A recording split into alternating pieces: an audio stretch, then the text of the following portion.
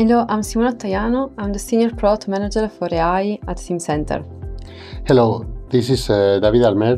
I am business developer for MBSE in uh, EMEA. Can you tell me a little bit on the benefits of using MBSE for automotive industry? Well, in automotive industry, uh, we are uh, using more and more MBSE since we need to standardize a methodology uh, to enhance the collaboration of engineers across the company.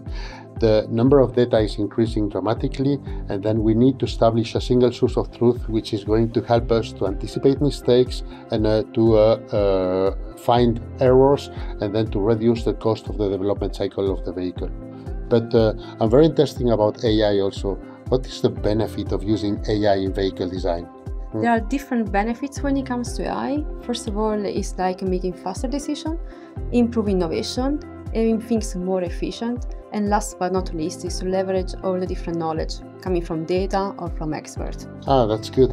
But uh, can you give us a real use case in particular where uh, AI is uh, uh, implemented in the vehicle uh, industry? Yes, so there are a lot of different use cases when it comes, for example, for autonomous or for electric vehicles or in the context of NVH, etc. But I will go a little bit more in the generic aspect. First of all, AI can be used to explore different design. So you can explore hundreds of thousands of design options in hours. That is like a very good improvement. Second, we can use AI also for generative engineering, so rapidly create and evaluate component models based on the different type of uh, boundaries like structural, thermal, cost constraints. We can use AI to create reduced order models, so or surrogate models, that dramatically reduce simulation times by predicting outcome from past simulation or new simulation in very short time.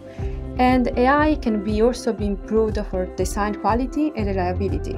It can predict potential failure points by analyzing past simulation and test data. And uh, what I can say is AI is a force multiplier. So AI can handle repetitive tasks, so can engineer can focus on uh, something that is more valuable, like focus on complex problems and also innovating faster. I think AI became like a very good group between high-level system engineers, so in the context for MBSE, and detailed simulation, so creating smarter, faster development loops. Wow, this is a lot of things uh, of the utilization of AI in automotive industry. Yeah, there are even more. But what I would like also to understand from your side, which are the challenges that you find in the context of uh, MBSE? The barriers, you mean? The barriers. Yeah.